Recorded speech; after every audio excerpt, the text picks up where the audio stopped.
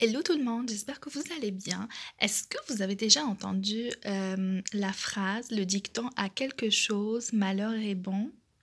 Eh bien, ça veut dire tout simplement que dans la vie, il faut toujours rester optimiste, il faut voir toujours le bon côté des choses et, euh, espérer pleinement que après euh, la tempête, après euh, le mauvais temps, il y aura toujours le beau soleil, il y aura toujours des joyeux moments, des bons moments à passer parce qu'on est obligé de passer par des moments difficiles, euh, des moments qui, nous, euh, euh, qui ne nous font pas beaucoup de bien, justement pour grandir, pour s'améliorer, pour apprendre plein de choses.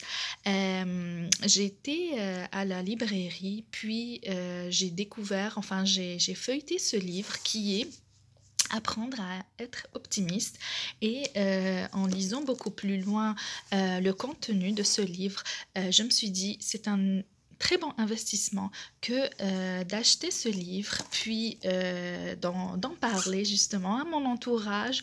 Et euh, c'est une philosophie, être optimiste s'apprend.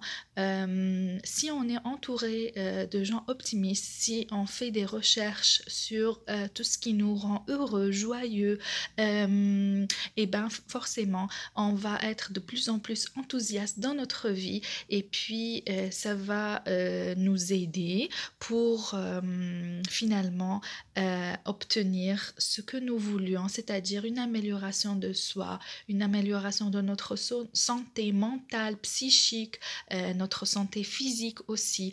Donc, L'auteur parle euh, de l'optimisme euh, et de la santé mentale. Euh, il parle aussi des bienfaits d'être optimiste en famille, de visualiser le fait qu'on a confiance en nous, d'apprendre à, tenir nos propres engagements. la confiance en soi se construit d'être réaliste par rapport à, nos projets, euh, voilà, euh, à avoir des attitudes optimistes et puis euh, à baigner dans ce bain, si on veut, d'optimisme. elle incite aussi à rédiger un journal de l'optimisme justement pour euh, nous améliorer dans ce sens.